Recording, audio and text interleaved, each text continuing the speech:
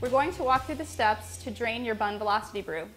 The reasons you will want to drain your tank if you're going to be gone for an extended period of time, if you're going on vacation or something like that, if you're going to move and you need to pack your brewer up and take it with you, uh, or if you're going to ship it somewhere. If it's going to go through UPS or FedEx and be on an airplane, you don't want the tank to have water in it.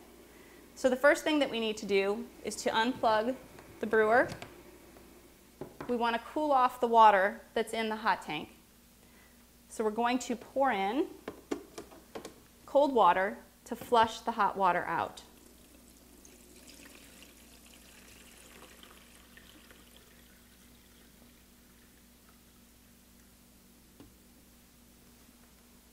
So we put the carafe on the warmer plate area and we close the lid. And the cold water is pushing hot water out into the carafe. We'll want to do that twice so that we can push all of the hot water out of the internal hot water tank. Now that you have flushed the hot water from the internal tank with two full cold carafes of water, we can start the draining process. First thing we have to do is remove the brew funnel and the spray head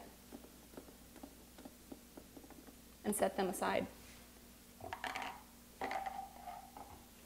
Then we need to take the brewer to a sink,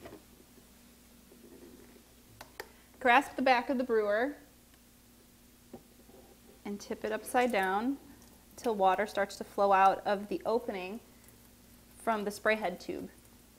Most of the water will flow out of that tube opening, but some might come out of the top lid. You just keep pouring the water out until no more comes out.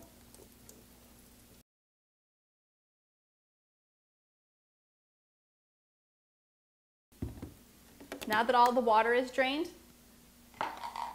we want to replace the spray head